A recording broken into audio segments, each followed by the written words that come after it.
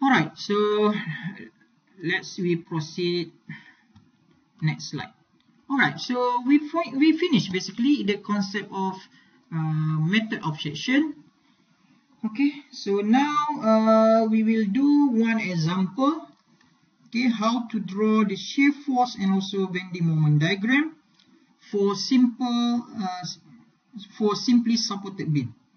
Okay. All right.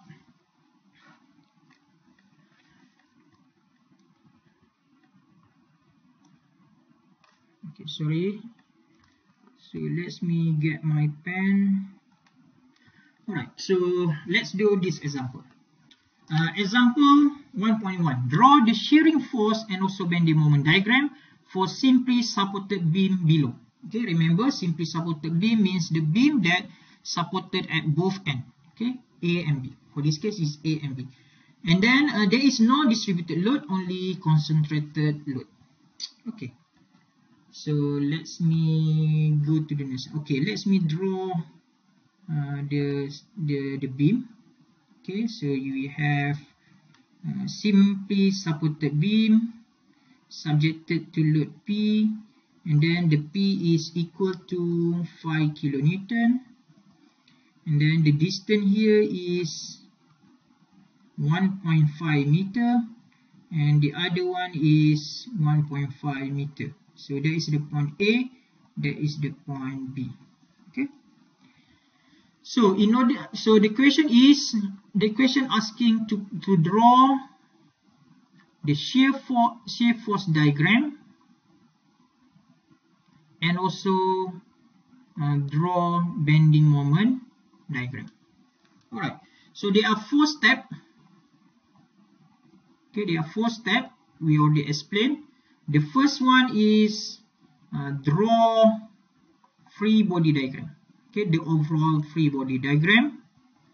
And then if you have the distributed load, convert distributed load into uh, concentrated load. For but for our case, there is no concentrated load, so you no need to no need to convert uh, from uh, distributed to concentrated. Okay, so we go to the first step. Okay, the first step step 1 uh, draw the free body diagram which is you have uh, FA here reaction force at point A and then reaction force at point B and then you have a P which is equal to 5 kilonewton and then uh, the distance is 1.5 and also 1.5 okay? So we finished step 1 and then step 2 okay here. So step step 2 what is the step 2 determine reaction force. Okay so for this case reaction force is FA and FB so how to determine FA and FB? Okay, so simple. You apply the summation of moment at point A. Okay, let's say uh, counterclockwise is positive and then the summation of moment must be equal to 0 for static equilibrium. So we take moment at point A. So what we have is FB time distance from FB go to A. Okay, B go to A, so the distance is 3. 3 and then p time the distance which is 1.5 okay so this is following our so fb go to a is following the our direction. Okay so positive. So p go to a. Okay so the direction is opposite to our assumption. So minus.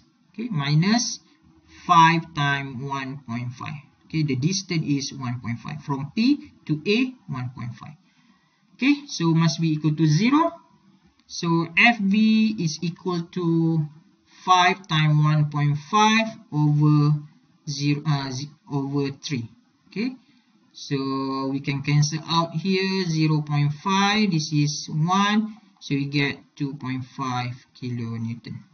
Okay so that is the FB So we get positive means our assumption is correct. So FB is directed upward. And then we can apply the summation of Fy is positive, upward is positive. And then the summation must be equal to 0. So from here, FB is positive because the direction is uh, same as our assumption. So FB plus and then also FA, the assumption is go upward. So same with our assumption. So FA is equal to uh, P. Okay, is equal to or you can put minus uh, P equal to 0. Okay, so therefore FA is equal to P minus FB which is equal to uh, 5 minus 2.5 equal to 4 uh, 2.5 kilonewton. Okay, same thing upward. Okay, so from our static analysis, we determine that FA is equal to FB which is equal to 2.5 kilonewton. Alright, so that is the step number 2. Okay, so step number one, draw the free body diagram. Done. Step number two, determine the reaction force, which is Fa and also Fb. So done. So now, uh, step number three. Step number three. Okay. So what is the step number three? Do sectioning. Okay, do sectioning. Okay, let's go back to our procedure. Okay, so step number three, analyze each section and then determine the mathematical function between shear force and X and also bending moment and X. Okay, so step number three is do sectioning and then determine the relationship between F and sorry V and X and then the relationship between m and x okay do sectioning and then determine the relationship between fx and also mx okay now now we have the beam. Okay i redraw. Here is 2.5 kilonewton. Then fc also 2.5 kilonewton.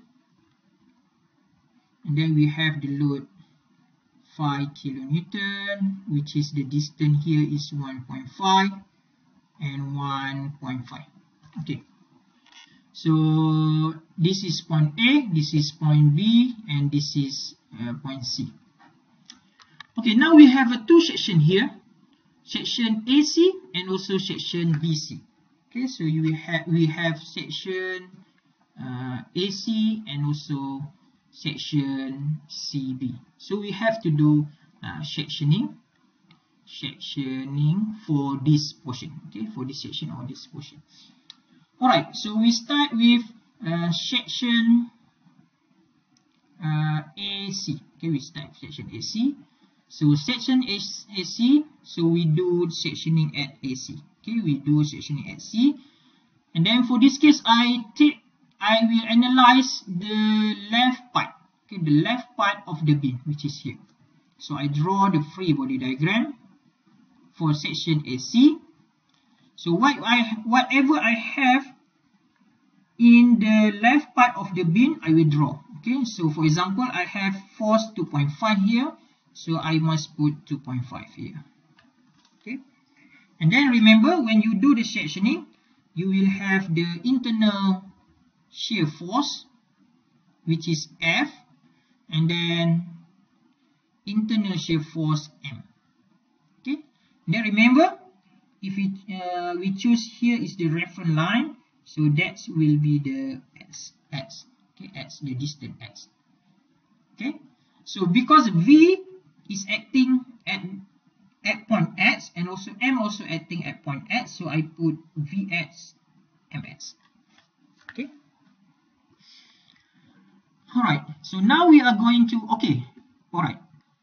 So for this free body diagram, it is valid for, okay, so the, the equation that we are going to develop is valid for the x in between 0 and 1.5 uh, because portion AC portion AC is from 0 at 0 to the x equal to 1.5 so point C eh? point C AC means at 0 up to x 1.5 so the equation that we are going to develop is valid from 0 to 1.5 okay 0 to 1.5 alright now we apply the summation of fy okay? Let's say upward is positive equal to 0 okay? So from this free body diagram uh, 2.5 minus Vx is equal to 0 so Vx is equal to 2.5 kilonewton okay? So that's so it means that the shear force is constant. Okay shear force is constant. It's not affected by the x. Okay? Okay now we apply from the, the same free body diagram. So we apply the summation of moment. Okay let's say uh, clockwise is positive must be equal to 0 so summation of moment at point x eh? at point x. Point here. So we have 2.5 times x okay so 2.5 we create a moment. Time x eh? okay so that's the distance x.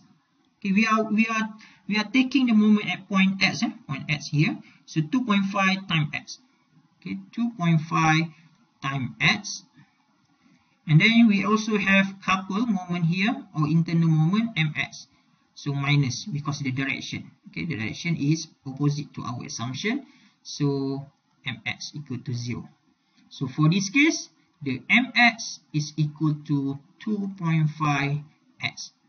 So that is the relation between m and also x. Okay? So the value of m is affected by x.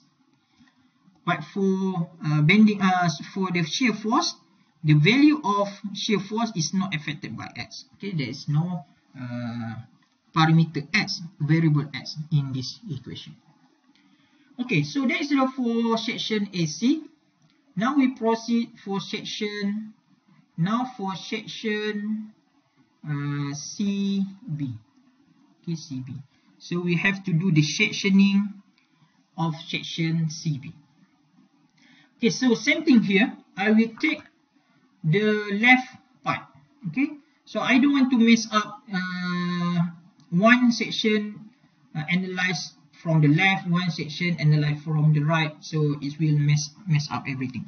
So uh, I will take I will do the sectioning at point CB but uh, but uh, I will analyze. Okay same I will analyze from the left uh, part. Okay I will analyze the left part of the beam so when I do the sectioning at portion CB so I can draw the free body diagram of the CB okay? So I draw uh, so I draw or I put whatever force uh, at the left side. Okay so for example here because I analyze the left the left part okay of the beam so I will have I will have a 2.5 kilonewton here this one and also remember 5 uh, kilonewton here okay because we analyze here we do the sectioning here so we should include the uh, 5 kilonewton here. And then because we do the sectioning you will have the reaction uh, internal shear force Vx and also uh, Mx internal bending moment.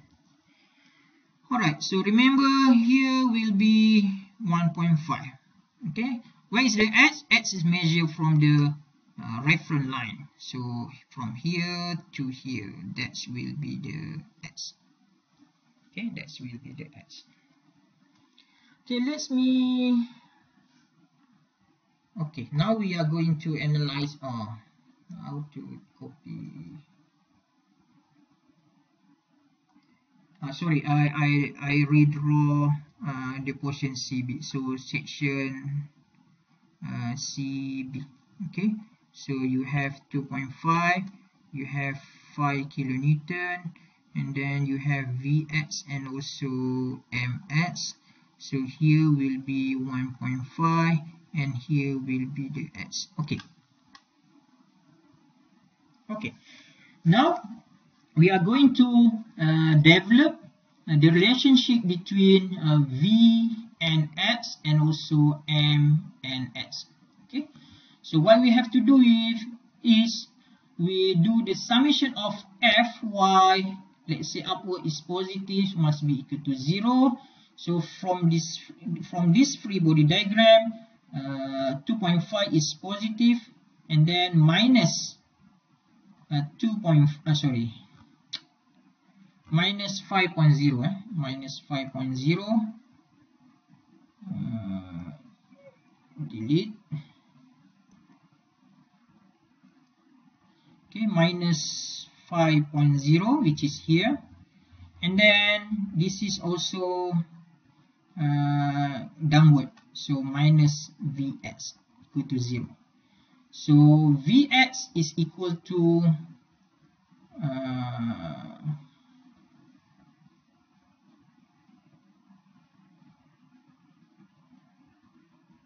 uh, sorry okay so 2.5 betul tak ni? Uh, minus positif 2.5 positif minus 5 minus Vx equal to 0. So Vx is equal to uh, 2.5 minus 5.0. Okay, so Vx is equal to minus 2.5 kilonewton. Okay, so same thing, the Vx is not affected by x. Okay, and then uh, we do the summation of uh, moment at point x. Okay, let's say uh, let's say in this direction is positive okay and then the total summation of moment equal to 0 so we take moment at point x here at, at location x okay at point x. So 2.5 times x okay 2.5 go to the x so the distance is x. So 2.5 times x and then 5 kilonewton go to x. Okay 5 going to add so minus eh minus because the direction is here. Okay so opposite to our assumption. So 5 times a uh, distance. What is the distance from here to here? Okay the distance is x minus 1.5 okay so from here to here is okay from here from here to here is uh, x minus 1.5 okay x minus 1.5 so x minus 1.5 and then minus ms okay remember we have ms here. Okay so it must be equal to 0 so uh, so I expand this equation 2.5 uh, x minus 5x plus uh, 5 times 1.5 is 7.5 minus mx equal to 0 so mx is equal to minus 2.5 x plus 7.5 okay so that is the relationship uh, between m and also s okay remember for section for section cb for section CB. So the X is only valid from 1.5 to 3.0. Okay. Because if you see uh, the diagram, so CB, CB is the X. So so means that the X is 1.523 Okay, so X is measured from here. So point C is X equal to 1.5 point B is x equal to 3 okay x equal to 3 so that's why so that's why the x is only valid for x from um, in between 1.5 and 3 okay this equation these two equation is only valid for uh, in between 1.5 and 3 okay. Okay so uh, I want to add one more uh, slide okay let me add one slide here.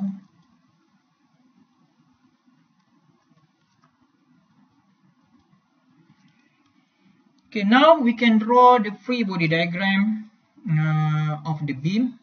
Okay free body diagram of the beam.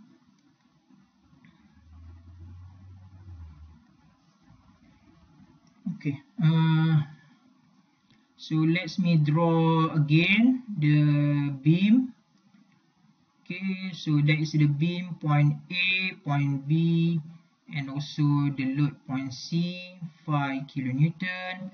And then we can draw the shear force which is V versus X and also bending moment diagram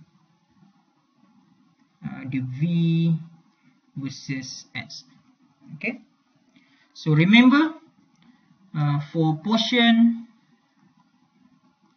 or section uh, AC so the Vx is equal to 0.5 Mx is equal to okay for portion uh, AC Mx equal to 2.5x okay 2.5x and then for section uh, CB Vx equal to minus 2.5 and Mx is equal to minus 2.5x plus 7.5 so which is here.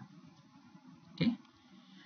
And then for portion uh, AC the x is only valid from 0 to 1.5 for portion CB, the x is only valid from 1.5 to 3.0. Okay. Alright, now let's draw uh, the V, the internal shear force for portion AC. Okay, so that will be the point A, that will be the point A. Okay, here will be the point C, and here will be the point C, and here will be the point B and here will be the point B alright so Vx okay the V the internal force is always 2.5 okay it's always 1 to 5 uh, for the x between 0 and 1.5 so here is 2.5 so Vx is always 2.5 okay for portion AC okay how about for portion CB? Okay, for portion CB, where the x in between 1.5 and 3, the Vx is always minus 2.5. So we draw minus 2.5 for portion CB. So it's always minus 2.5. Okay, so that will be the shear force diagram. Okay, so means that at this point, the value is 2.5 for the internal uh, shear stress and uh, shear force eh? at this point also 2.5 at this point also 2.5 okay so that's it mean by this diagram how about for uh, force uh, sorry bending moment? Okay so for bending moment portion AC okay for portion A to C the bending moment is equal to 2.5 x okay and then x is valid from 0 to 1.5 so if if x equal to 0 so x equal to 0 what is the bending moment? Bending moment equal to 0 so what happen if x equal to 1.5 x equal to 1.5 so x equal to 1.5 so bending moment equal to 1 2.5 times 1.5 which is uh, 3, 3, 3, 2.5, 5 times 5, okay, 3.75. So M equal to 3.75. Okay, so X0, M0, which is here. X 1.5, which is at point C. Okay, X 1.5, M3 equal M equal to 3.75. So let's say here is 3.75. So at x 1.5, this is 1.5, this is 1.5, this is 1.5, this is 1.5. okay so m equal to 3.75 which is here so that will be the the the value for the moment all right okay. And then for portion cb for portion cb the ms equal to uh, so ms equal to minus 2.5 x plus 7.5 so that is for portion cb so when x equal to 1.5 because for cb the x is only valid from 1.5 to 3.0 okay? So when we substitute 1.5 into this equation so we get m equal to uh, 3.75 same. Okay? Because uh, 2.5 times 1.5 is 3.75 plus 7.5 so we get 3.75 okay? And then if s equal to 3 which is at point b okay? Point b so m equal to 2.5 times 3 2.5 times 3 is equal to 7.5 plus minus 7.5 plus 7.5 so m equal to 0 okay so uh, x 1.5 here so m equal to 3.5 same point. Okay so x equal to 3 which is here m equal to 0 so you get 0 so we can draw so that will be the bending moment. Sorry this is not v this is m. Okay? So that is the shear force diagram. This is the bending moment diagram. So from here we can see that the maximum value of the bending moment is 3.75 okay? 3.75 where the maximum or the critical point okay the critical point in the beam is at point C. Okay is at point C. So here will be the critical point. Okay? So we know the value is 3.75 so if the question asks you to calculate the stress at point C so you can simply calculate the stress equal to uh, mc over i and then substitute the value of m which is 3.75 and then calculate the c. C uh, should be calculated from uh, the cross section yeah? okay if the question give you the cross section then you can determine the c and then over i. I also is based on the cross section and then you can get the value of stress the, the value of stress. Okay so this is what we done okay. Okay you can read again okay so this is uh, basically this is what we I, I explained uh, previous in previous slide. Okay so that's the uh, the graph v over x and also m over x. Alright. So we finished example 1 so I think uh, for this class uh, we stop at example 1 and then we will proceed example 2 uh, in the next uh, class okay? So before uh, before I, I, I stop okay? So I would like to open for any uh, question